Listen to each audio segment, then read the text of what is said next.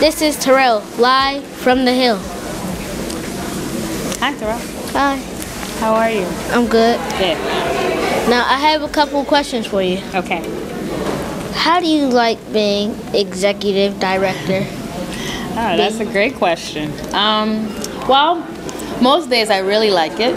It's fun because I get to work with lots of interesting artists like um, Esperanza Spalding and lots of other artists. Um, but some days it's really hard. It's a lot of work. It's hard to be in charge of lots of people. It's hard to have to think about how you're gonna um, raise enough money and how you're gonna plan for everything and have it be a success.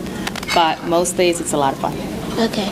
Do you like your job and how you're helping around and stuff? I do like it. I think it's nice to be able to um, meet lots of people and have a place that people can come to like this. Like last year, we worked with the Kaufmann Center. We worked with Betsy and Tiffany, and uh, we had a festival there. We had other shows there, and um, it's nice to do that in East Liberty as well at the Kelly Strayhorn. Who is your number one role model and what did you learn from them? Well, I have many, many role models. I think it's been, um, I feel really fortunate in my life. I've had lots of people. But one person that I think about often uh, is my father. He's an artist. Um, and when I was growing up, I got to see him perform and travel and do lots of interesting things. And even when things weren't going well, he was always really positive and always um, made the best of every situation. So that's something I learned from him. Is working at a big company sort of like on a team? Well, I mean, you're on the team, but when you're in charge, it's like being a coach. You're not actually on the field, um, so you don't know exactly what the players are going through, but you have to guide and give them direction whenever they're having a hard time. And when everybody, when you win, then everybody's excited. But when you lose, everybody points the finger at you. so it's it's kind of like that. Um, I try to have more wins than losses. Uh, so have you directed anything fully through?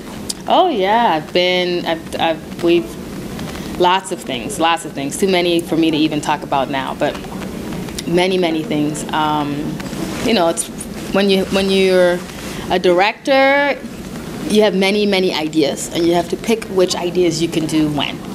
Okay. So I hope someday you're going to be a director, and then you could take my place.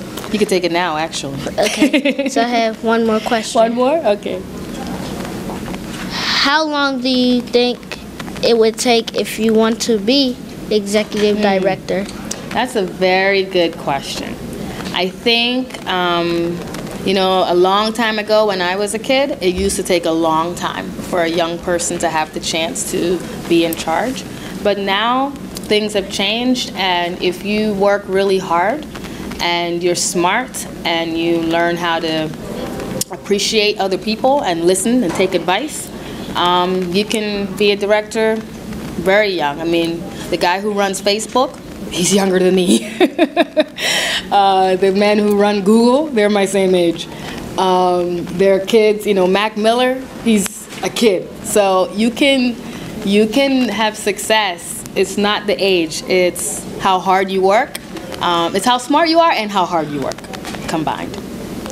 Okay? Thank you for your time. Thank you. It's nice meeting you. This is Terrell, live from the hill.